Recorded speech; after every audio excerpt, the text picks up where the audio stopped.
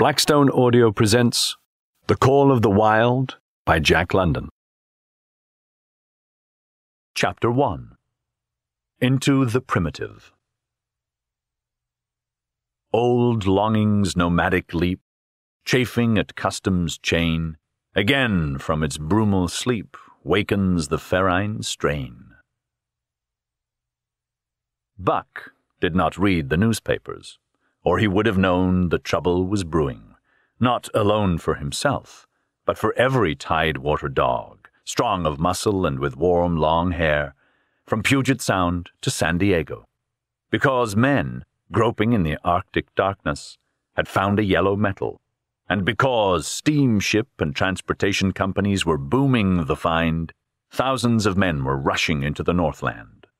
These men wanted dogs, and the dogs they wanted were heavy dogs, with strong muscles by which to toil, and furry coats to protect them from the frost. Buck lived at a big house in the sun kissed Santa Clara Valley. Judge Miller's place, it was called. It stood back from the road, half hidden among the trees, through which glimpses could be caught of the wide, cool veranda that ran around its four sides. The house was approached by gravel driveways which wound about through wide spreading lawns and under the interlacing boughs of tall poplars. At the rear, things were on even a more spacious scale than at the front. There were great stables where a dozen grooms and boys held forth, rows of vine clad servants' cottages, an endless and orderly array of outhouses, long grape arbors, green pastures, orchards, and berry patches. Then there was the pumping plant for the artesian well, and the big cement tank where Judge Miller's boys took their morning plunge and kept cool in the hot afternoon. And over this great domain, Buck ruled. Here he was born, and here he had lived the four years of his life. It was true, there were other dogs. There could not but be other dogs on so vast a place, but they did not count.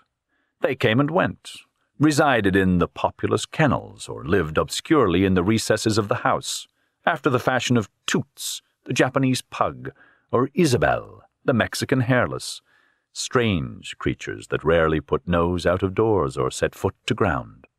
On the other hand, there were the fox terriers, a score of them at least, who yelped fearful promises at Toots and Ysabel, looking out of the windows at them, and protected by a legion of housemaids armed with brooms and mops.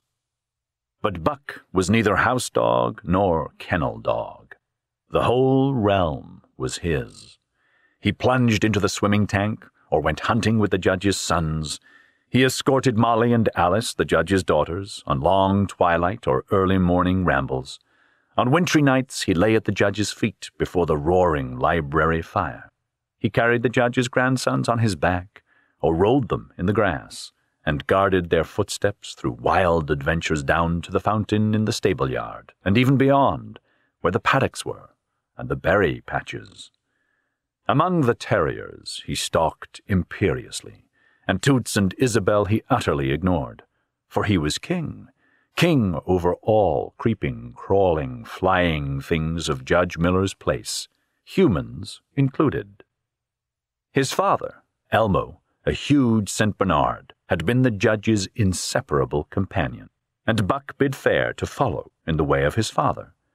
He was not so large. He weighed only 140 pounds, for his mother, Shep, had been a Scotch shepherd dog.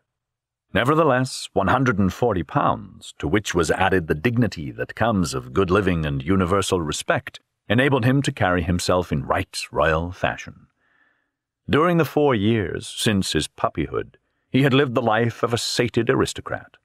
He had a fine pride in himself, was even a trifle egotistical, as country gentlemen sometimes become because of their insular situation. But he had saved himself by not becoming a mere pampered house dog. Hunting and kindred outdoor delights had kept down the fat and hardened his muscles. And to him, as to the cold tubbing races, the love of water had been a tonic and a health preserver. And this was the manner of dog Buck was in the fall of 1897, when the Klondike strike. We hope you enjoyed this preview. To continue listening to this audiobook on Google Play Books, use the link in the video description.